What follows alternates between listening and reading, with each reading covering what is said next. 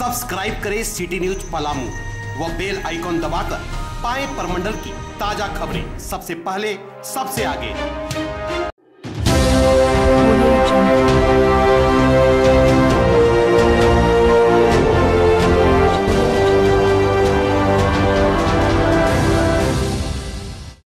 गढ़वा ज़िले के रंका कला मुखिया सविता देवी के द्वारा, रंका के सब्ज़ी बाज़ार, पुल नदी, पुराना हॉस्पिटल के पास, बरसाती पानी के द्वारा पुलिया के ऊपर गंदगी और मिट्टी का अंबार लगा हुआ था, जिससे राहगीरों को आने जाने में कठिनाई हो रही थी।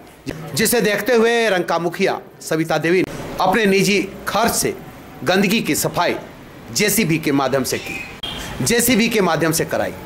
रंका से विकास कुमार की रिपोर्ट।